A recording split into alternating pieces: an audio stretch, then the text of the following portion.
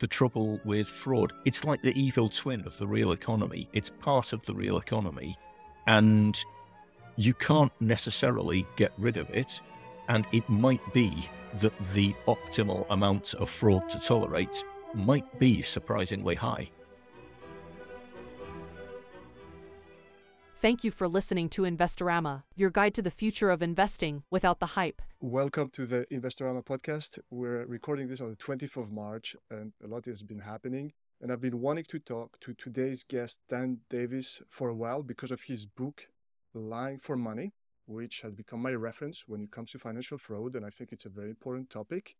But it turns out that he's also one of the most sought after commentators on the banking crisis so I feel particularly privileged to speak to Dan today.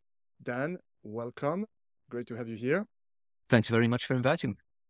So you said on the Odd Lots podcast, you were an uh, emergency guest, uh, that you're the guy that's invited when things are bad. Can you tell us uh, about that, yeah. please? Yeah, uh, you know, if if you're talking to me, then something has usually gone wrong in your portfolio, or something's gone wrong in the banking system. I spent my career as a equity analyst uh, with Credit Suisse, Exane, BNP Paribas Banks teams. Before that, I was at the Bank of England, and I've always had a bit of a speciality in crises and runs and drama like that. It might have been better for my bonuses if I'd been an expert on bank success, but I'm an expert on bank failure, and that's the trade I was in.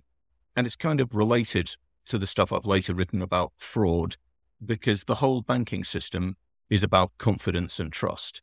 And so it's really interesting, in my view, to think about the conditions in which that confidence breaks down and then the consequences uh, and the ways that people try to build it back up again.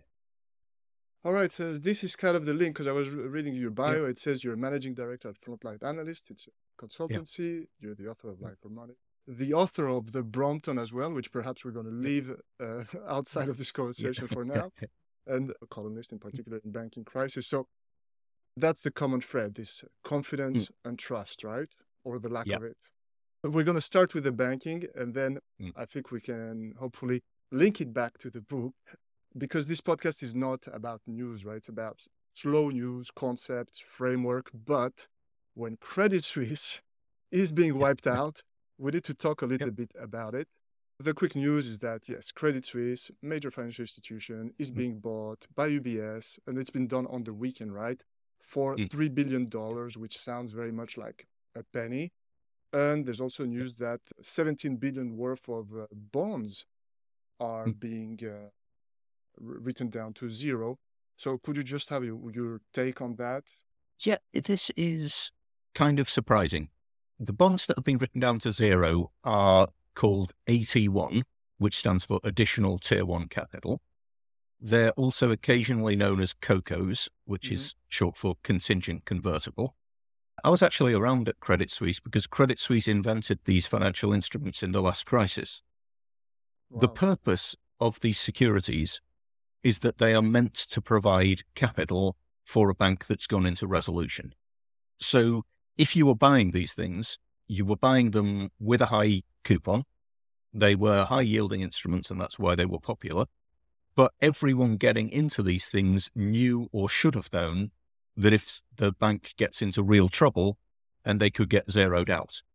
What I think has surprised and dismayed people is that these bonds are getting zeroed while the equity is still getting some value. So Indeed. Three billion of purchase price it equates to somewhere between 60 or 70 Swiss franc centimes per share. I haven't checked the exact price, but it's it's not a great deal of money compared to what Credit Suisse was worth even a few years ago, but it's not nothing. So it seems that these bonds have become junior to equity. That was always something that was regarded as possible. It was in the legal terms of the bond, saying there is no guarantee that uh, you will be senior to equity, but it's always been understood in the markets that these bonds would not be zeroed in a situation where equity got anything. But it turned out that the Swiss government felt that it needed to give equity holders something just in order to get the deal through, uh, but it was able to zero these kind of this particular series of bonds, and that's what they've done. Okay, so that's interesting about reading the news because indeed, I when I saw that, and the the headline of the news is that seventy billion dollars of um, bonds gone to zero without uh, you know further t- too many details. I was shocked, but now your explanation yeah. makes uh, perfect sense. Yeah.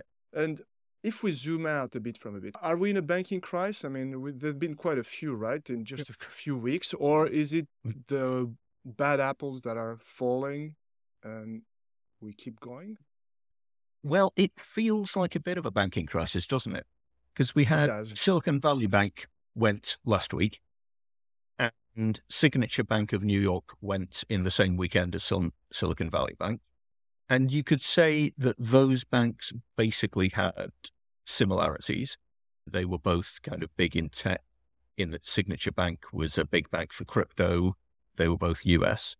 And now this week, Credit Suisse has gone. And it looks like the only connection that Credit Suisse had to Silicon Valley Bank was that it had jumpy depositors. Mm-hmm. So there's there's really no kind of none of the same treasury management or liquidity management issues at Credit Suisse that we saw at Silicon Valley Bank, but it was losing deposits because it had ultra high net worth clients depositing the money there, and they were getting more and more scared, might not be the right word, but they were getting more and more uncomfortable with seeing Credit Suisse constantly in the newspapers for having done something bad or done something dumb. And then when you've got this environment of excessive fear, that tends to spread and it looks like they lost confidence. What seemed to finally do it for Credit Suisse was not so much the ultra high net worth clients and depositors as that other big banks were beginning to refuse to do transactions with them as a counterparty. And when that's happened, starts to happen for a big wholesale bank, it's very difficult to come back from that. I haven't so far heard of that element of contagion spreading. Now, if we think back to 2008, there were days in 2008, 2009 when HSBC and Citigroup were refusing to face each other as counterparties. And that really was a full on crisis. You've got two of the biggest banks in the world refusing to face each other. Credit Suisse was beginning to get people refusing to take its risk, but I've not yet heard of any single other big bank uh, which is fa- refusing to face any other single big bank. So maybe they've stopped it, maybe they've only temporarily arrested it, but it is seems clear to me that our problem at the moment is confidence in the overall system, and I guess that's what's definition of a banking crisis. Right. Yeah. No. No bank can survive if uh, all the depositors run.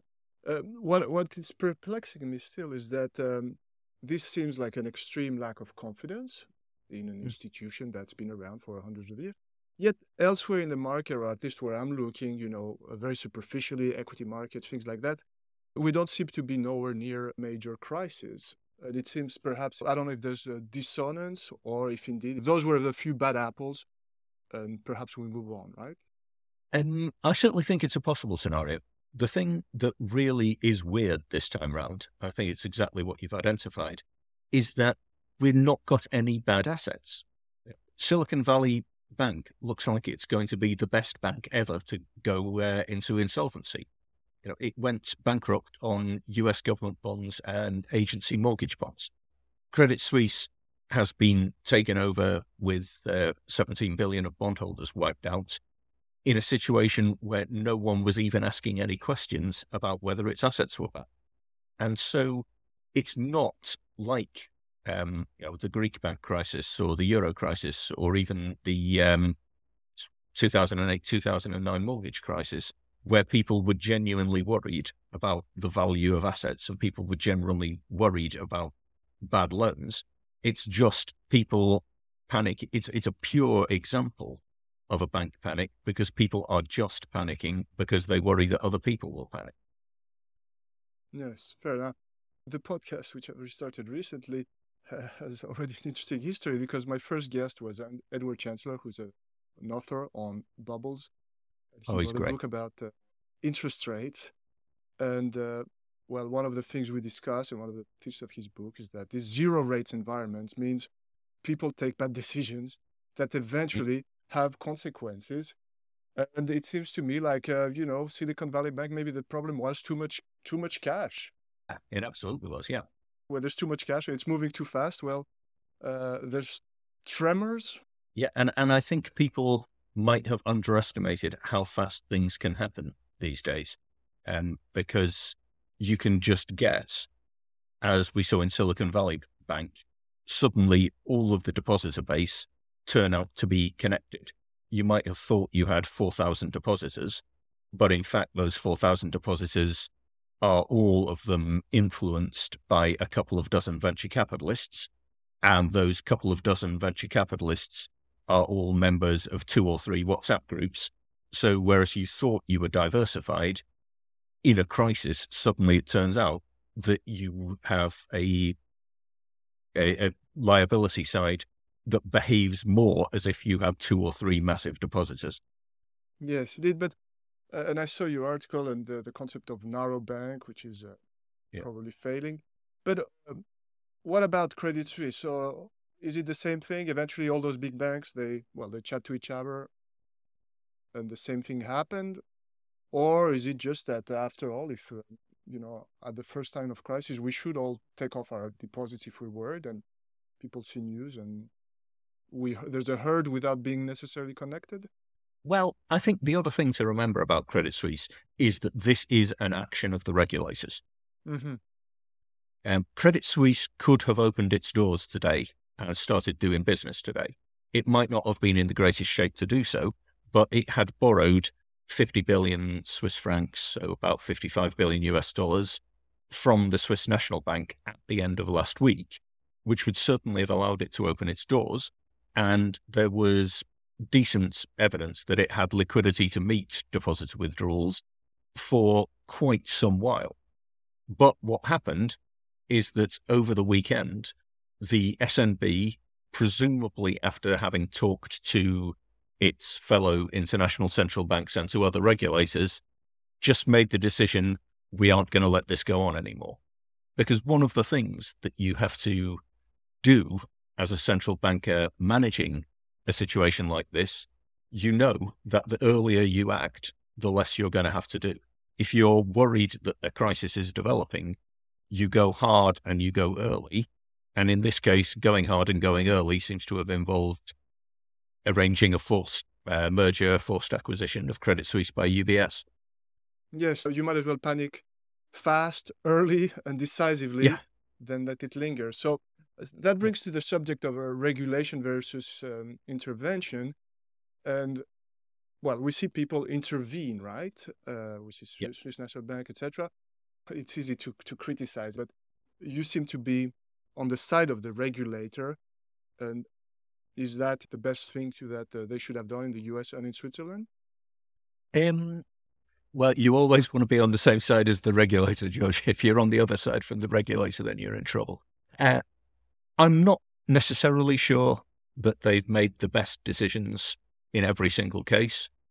I do know that they've made defensible decisions, and it's one of the hardest things you ever have to do. Mm-hmm. Even as as a portfolio manager or as an investor, you're just buying and selling securities. As a CEO, you might have to make some big strategic decisions, but then these guys, they can go for an entire decade without ever having to make any really material decisions. And then in the space of two or three days, in the space of 48 hours, they have to decide whether a massive, globally significant institution that's been around for 168 years has to live or die. It's uh, it's it's a very strange job, and I do think people should be recognizing that before you criticize these people for making much much more difficult decisions than any of us are ever called on to make. Sure, yeah. There's the, I think Lenin was saying there's decades when nothing happens and weeks when uh, decades happen. We're certainly in one of those weeks. Absolutely. But that does bring the um, the question then of of uh, regulation, right? And uh, again, I'm referring to one of your articles. It seems yeah. to me that in the US, for example, the banking regulation could be improved, you know, for these type of banks that are mid-sized so, banks. Yes. And therefore, is it that uh, the regulation that we have was not appropriate and we need more regulation or a different set of regulation that will follow this? Well, to an extent, yes, I think. Because, of course, I appreciate that the regulators and the supervisors have to work with partial information very fast. But to a large extent, they create their own information environment. Uh, the San Francisco Fed, uh, which was responsible for regulating Silicon Valley Bank, they didn't have to be out of the loop. They didn't have to be making decisions at the very last minute.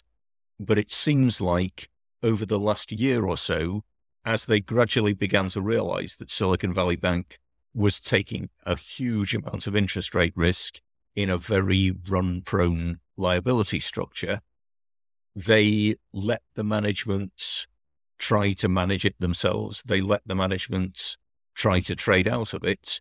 And I think that another bank supervisor, certainly I actually think that a European bank supervisor would have started making much more prescriptive instructions to tell the bank that they were going to have to do things which affected earnings, but which reduced the risk. For Credit Suisse, I think it looks like the SNB has been involved for a while. It looks like that company has been trying to reduce its size and reduce its risk for uh, for quite some time now. They've jumped in at the at a later stage, but certainly I think these they could have let Credit Suisse go on for another six months and then done the same thing. So in many ways, they have taken quite prompt uh, corrective action compared to other things that would have been possible for them to do. And that brings me then to reconnect to the book, um, and the the book is about fraud. And you say, for example, later generation of crooks who follow Ponzi's examples in working with assets not covered by financial regulation. So here we're not talking about groups. Well, sometimes those uh, stories uh, uh, emerge later, but uh, I don't think there's anything like that being suggested right now for Credit Suisse. Yeah. But it seems to me that uh, th- then we could extend it to uh, whatever is not regulated enough will foster bad behavior. If that's true, well, we should always regulate more and regulate more areas. Quite a philosophical it, question.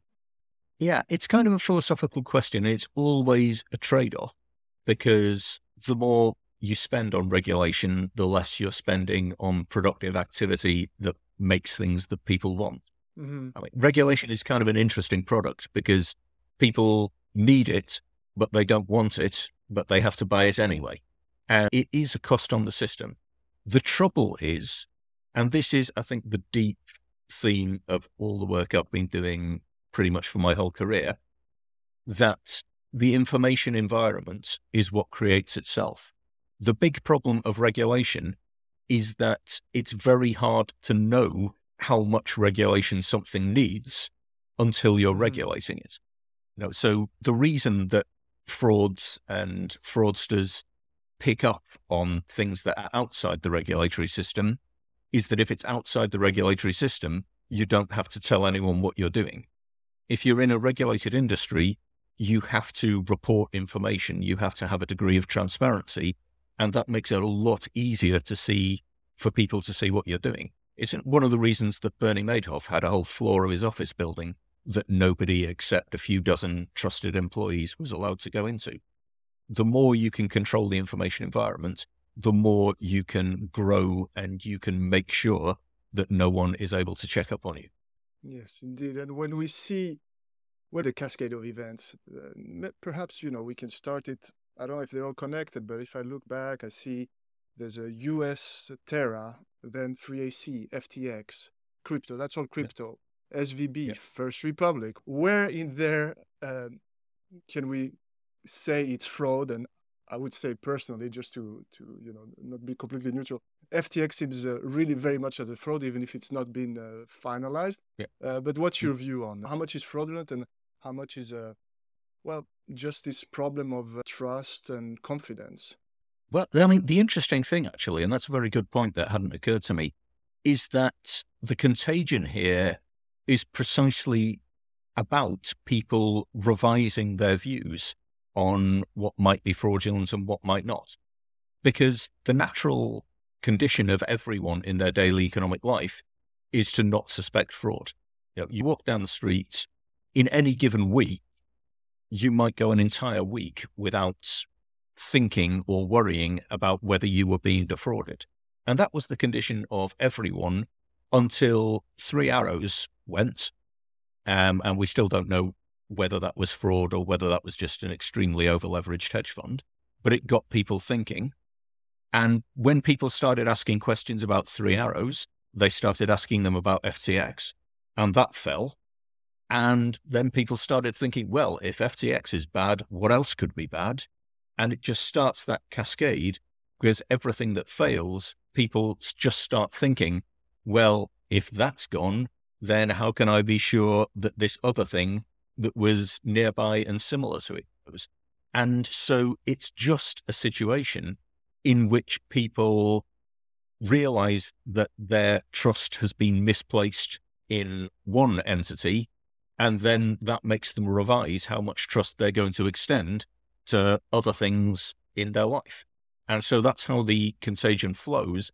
It's because the same people are now deciding that they're going to move from a high trust way of life to a low trust way of life. And that's that's that's kind of the vector of contagion that we have to think about. Yes, and also something that I think is worth reminding. You mentioned the Canada paradox, right? Whereas yeah. in high trust society, uh, that's where the fraud happens. Whereas you mentioned Greek, and uh, being half Greek, I'm not hmm. offended. I understand what you mean. Yeah. I had a conversation about this with Nassim Taleb, and in presentations, I use Lebanon these days rather than Greece. Uh, so, can you just um, go back to this and you know explain to the audience why yeah. is this happening in Canada paradox? Yeah, I mean, basically, the paradox here is that places like Greece, Lebanon, Nigeria are in many ways low trust societies but they tend not to have very high degrees of fraud in the economy. And the reason for that is that in a low trust society, you only do business with people you know. So in Lebanon, if you're going to do business with someone, you're going to check them out, check their family out, generations, you know, back to before the birth of Christ. Somewhere like Canada is a high trust society where people generally believe that everyone is going to behave honestly that's very good for the Canadian economy in a lot of ways. But it does mean that if you show up in Toronto with a nice suit and you remember to say please and thank you, people are not going to check you out. And so after I wrote the book, uh, this case happened where a university in Edmonton had $10 million of building work going on. And it received a single email saying, Hiya, these are our new bank details. And on the basis of that, it lost 10 million Canadian dollars just by sending them to the wrong account uh, of a fraudster uh, on the basis of one single email. And yet there's a huge difference between an economy in which that kind of thing happens and then an economy like uh, Greece or Lebanon or Nigeria, where if someone says these are our new bank details, you would always go out and check because it's uh, because you expect that kind of thing to happen. Yes, and it seems like for many people, everyone who's been following that has their fraud radar a bit more turned on at the moment. Well, yeah. I wanted to ask one other thing that you mentioned, and it's it's related to this question of when is it just overhyped, when is it fraud, and there seems to be a substantial difference. But you say there's a qualitative difference between a good company gone bad and an enterprise which has been wholly designed around a fraudulent purpose. So, would you say, for example, if we take a specific example, FTX, yeah. do you think it's a company that has been designed right from the beginning uh, around a fraudulent purpose? It's hard to say from the outside. Hmm. I mean, FTX seems to have done things which are, firstly, specifically illegal in and of themselves. So, it told people to send money to a bank account in order to avoid banking controls.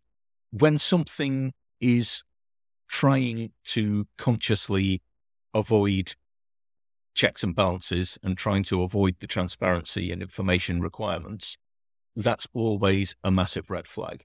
That is, you know, as I say, just simply the act of using one bank account as a cover for another company is illegal in and of itself. And the reason that it's illegal is that there's very few legitimate reasons to do it. There's very few kind of things that it could be doing that would require you to do that. The question of whether FTX is a fraud, it's almost philosophical to me. I think whether or not Sam Bankman Fried stole the money, or whether or not it was just a very badly run financial institution that raised money and took excessive risks with it, I'd call it, in the economic sense, a fraud, whether or not it's a criminal fraud, mm-hmm. because it was an organization which, as you say, was set up in such a way to systematically avoid controls that had been put in place to stop things like growing up. So it was it was based on making people trust something more than they should have trusted it. And now they've lost their money. And I think from an economic sense, that's probably more important than the criminal question of whether it can be proved beyond reasonable doubt that Sam Bankman Fried stole the money for himself. Yes, indeed. Okay, so that, that's really an important point, I think, in our times. And I just brought a quote from Bagehot so that we can see that it's not something just new. And um, you made me think about it because you had a conversation on, about yep. In, um, on Twitter. And he says, uh, the good times of high price almost always endanger much fraud. All people are most credulous when they're most happy and when much money has just been made. When some people are really making it, when most people think they're making it, there is the happy opportunity for ingenious mendacity. It's been I mean, written uh, centuries ago, but it could be it could be written about uh, 20, 2020. You said yes, commercial fraud, uh, criminal fraud. Uh, maybe it doesn't matter, and um, that makes me think as well about the storytelling aspect, which um, again in your book you say the stock market is um, is what may create stories into cash, and yep. what has been happening in the recent era with that so many stories have been transformed into cash. Sometimes this cash has been materialized in IPOs that later fall at 80%. So is this the right approach to all these, uh, let's call it, uh, you know, overhype and fraud a bit in the same basket and you have to warn against both in the same way? Yes, it is. Although, you know, I would kind of say that's a great quote, by the way, from Bagehot. Um, but of course, the fact that being happy makes you more vulnerable to fraud, you know, that's not a reason to not be happy. Mm-hmm. You know, um, fraud does happen in good times. Uh, the way that uh, someone put it to me is that fake gold mines get sold in real gold rushes. Mm-hmm. the the statistic that I think amused me and interested me the most uh, when I was writing the whole book is that for most of the 19th century in London, somewhere between a quarter and a third of all flotations on the Lock Exchange, on the, the London Stock Exchange, were frauds. Wow. So you can have a huge amount of fraud existing at the same time as a huge amount of legitimate economic activity. And then the other thing, which relates to what you were just saying, is that if a third of them were actual frauds, probably another third of the companies floated on the London Stock Exchange in the 19th century were companies which were not necessarily conscious frauds, but were in such bad economic condition they should never have been floated and went bust you know, within a very short period of time. But what I would argue is that if you look back to the 19th century, which was a huge period for stock exchange frauds, and you just look at the frauds, then you really are missing the big picture about uh, the UK in the 19th century. The railways did get built, all these things did happen. Similarly, the dot com bubble, a huge amount of either frauds or just rickety companies that should never have been floated. But there was a huge amount that did actually get done.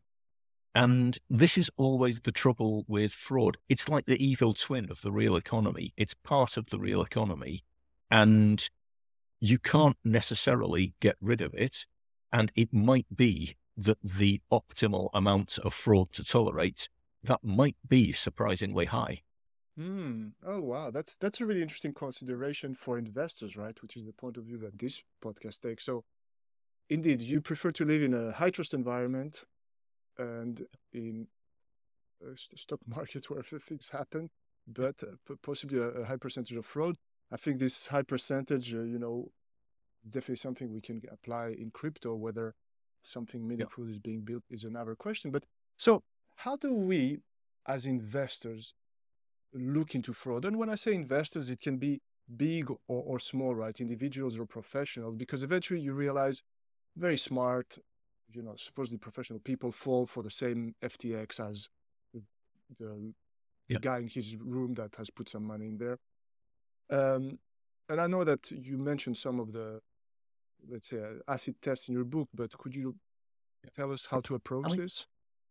I mean, I think my key test is this is a rule that was taught to me in the first, I think, three weeks of my career when I went into the Bank of England, because it was an old bank supervisor's proverb, which is that anything that's growing fast needs to be checked out. There's a number of reasons for that. Firstly, frauds tend to grow fast because they have to grow in an accelerating fashion in order to cover up the amount of value that's been extracted by the fraudster. In most cases, the financial accounts of a growing company will be flattered simply by the growth. So anything that's growing really fast needs to be checked out. And then what I ended up adding myself after reading some research on uh, big frauds in the USA, particularly with the Medicare system, is that it needs to be checked out in a way that it hasn't been checked out before. So if you're really thinking about something and thinking, this is growing so fast that it's either a great company or a fraud, try to think laterally. Try to think, what is the normal checks that people would carry out? And I'll do something different because the normal checks are usually the ones that a fraudster will have anticipated and designed the scheme around. So there was one time when I was doing due diligence for some clients of frontline analysts, and there was a business that we weren't sure. It looked great on the numbers. And I ended up telling my consultants that earnings and cash are quite easy to fake. It's very difficult to fake people and buildings. So we did all of our due diligence for this thing on LinkedIn and on Google Earth in order mm. to find out whether whether the buildings were, were where they were and whether the people involved were real people. And uh, well, I probably shouldn't tell you how that one ended up because of client confidentiality, but that was an example of using a different method from the one that someone might have expected to be checked out. The other big rule, which every single short seller I've ever talked to has told me about, is people don't change. Hmm. Fraudsters come back to the well. Once someone has committed their first fraud, then something has fundamentally changed in their personality. They've broken through the normal resistance that people have to dishonesty, and they will come back again and again. If you go into a short selling fund, you will find that their biggest piece of intellectual property, the thing that they will not share with anyone else, and the kind of core value of their fund is their little black book of crooked accountants, crooked stock promoters, crooked PR people, crooked company directors, because whenever you see one of those names, you can generally short it. Uh, a guy once told me, I will short sell jockeys, I don't short sell horses. Um, and regularly you'll have short sellers who will short sell a company without even knowing what the company does because it's got one or two individuals involved with it who are on their little black book. Yeah, sure. Those seems to be very useful rules. But about the fast growth thing, this is something that for if I follow the rule book, we would have to apply, let's say, to all the fintechs um, in, in the area, right? And some were fraud. I mean, there was one, for example, Frank, the one that JP Morgan bought. Yeah. It seems to be clearly fraud.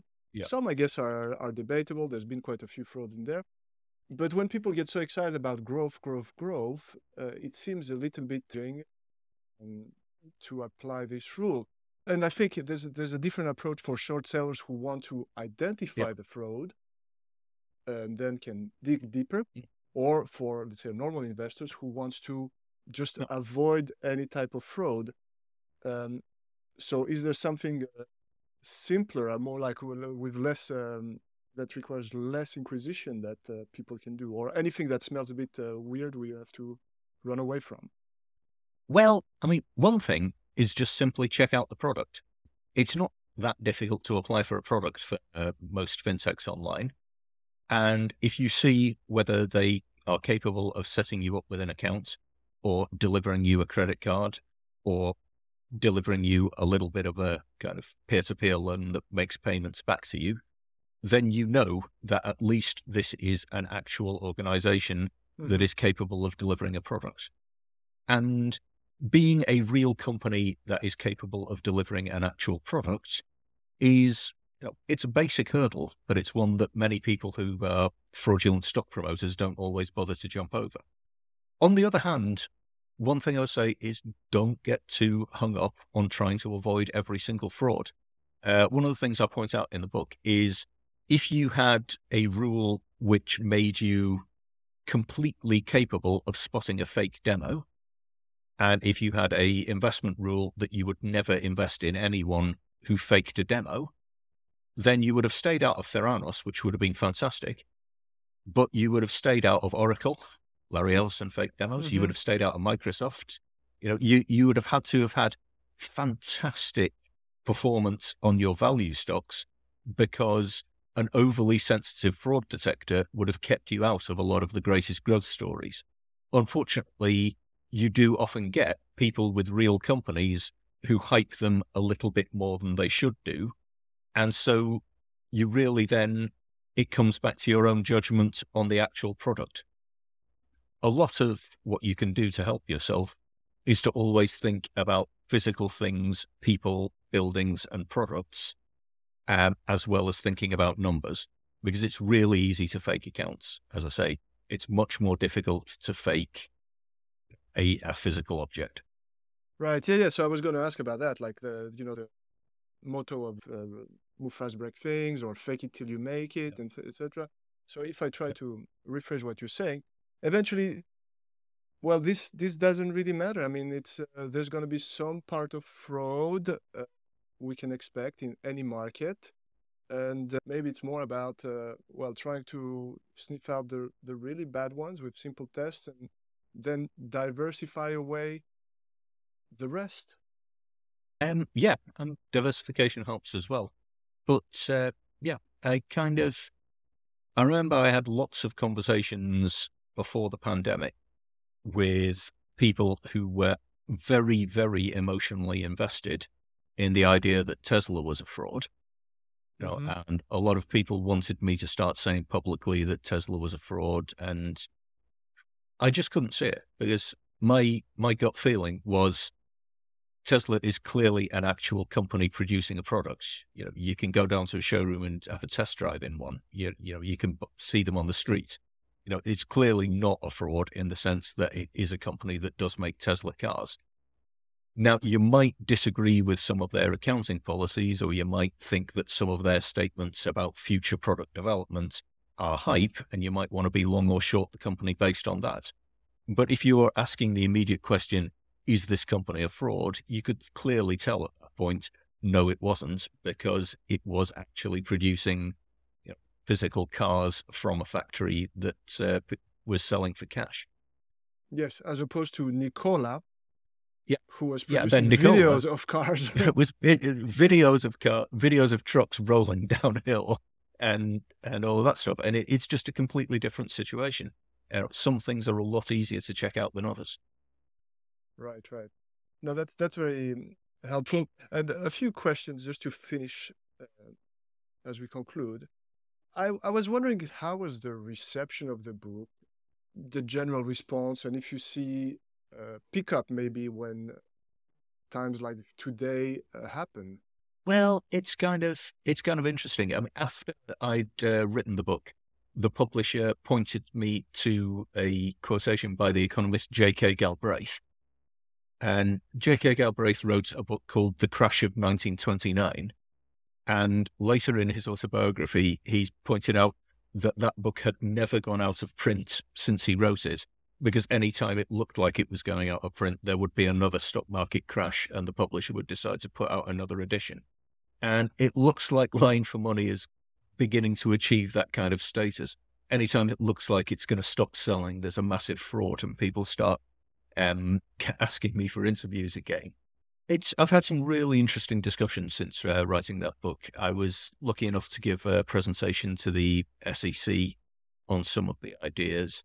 I don't think there's anything particularly controversial or original in there. A few criminologists gave me a hard time for misusing a lot of their language, and uh, I put an apology in the second edition for that. But it's been it's been really interesting to think about it, and it's been really interesting to think about the economics of fraud because, as well as all the histories and the stories, there's some really interesting general principles in there which always deal with things that the mainstream subject of economics doesn't necessarily always deal with very closely? For me, I think it's something, especially now that I understand that fraud is part of what we do. It's not just a great book to read because it's a narrative. It's also something that frames my mind. And now I realize that I can apply it, maybe not just about fraud, but about, well, let's call it the hype. So, one thing that I particularly like in your book and has in common with the book of Edward Chancellor is that it goes through all the concepts. It really gives you a, a framework, uh, typology of fraud, but it's also a narrative history. How conscious were you about that? Well, I had a lot of help from my editor, actually. I had a really great uh, team of editors at Profile Books. To begin with, I just wrote it as a collection of stories of frauds, some of the more modern ones that I'd had a front row seat from, like LIBOR, and some of the more historical ones that I spent a few afternoons over the course of an entire summer in the British Library looking up historical documents for frauds. And it was the editorial team at the publisher that encouraged me to say, you've got to have some principles here. You've got to have some structure and theory to it rather than just having a collection of uh, funny stories about uh, people who committed frauds and then got caught. Yeah, wonderful. No, I think that's such a good job. And now, so moving on to your personal news, I see that you've you've launched your own Substack and have another book coming up. Uh, can you tell us, you know, about this yep. uh, new approach? Yeah, I mean, this is going on basically from a lot of the things that we've been talking about uh, over the course of this podcast. That it's about information, trust, and organization. And the book that I'm writing, which will be coming out next year in April, so about a year from now, is called Decisions Nobody Made. And it's about the way that a modern economy is based on decisions that are made by systems rather than people. So, not necessarily systems in the sense of actual computer programs and algorithms, but processes of corporations, policies of government departments.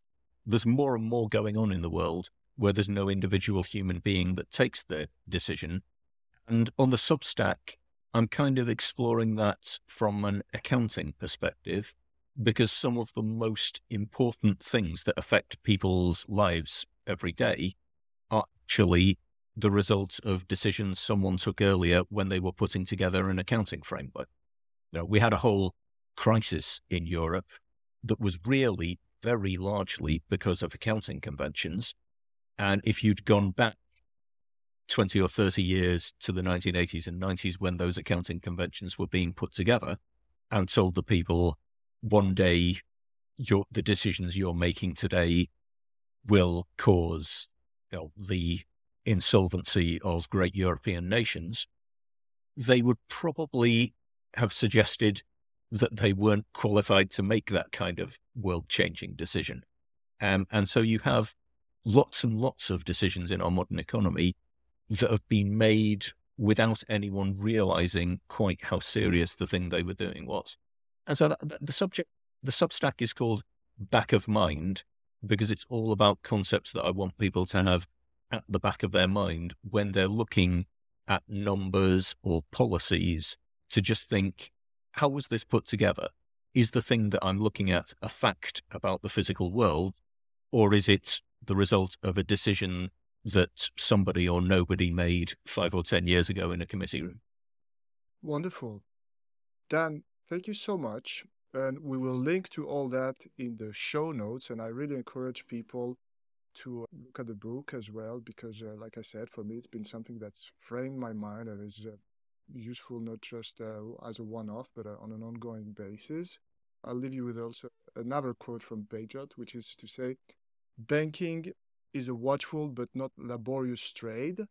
The banker should be constantly be looking out for unseen dangers and the bouts of idiocy that so often envelop the world of finance, which I think is a pretty, pretty good it. summary of where we are. Yeah, I love that. That's a great quote. So there's nothing new. So wonderful. I'm sure we will also hear and, and see from you in other mm-hmm. publications mm-hmm. as, uh, you know, we, are about yeah. to uh, talk a lot more about banking. I hope you don't hear too much from, from me for the next few years. People only hear from me when things are going bad. I'll I, will i will try and keep quiet until the book launch. I'll monitor your appearance as a bearish signal. I think so. Great. Thanks very much, George. It's been great. Thank you for listening to Investorama, your guide to the future of investing without the hype.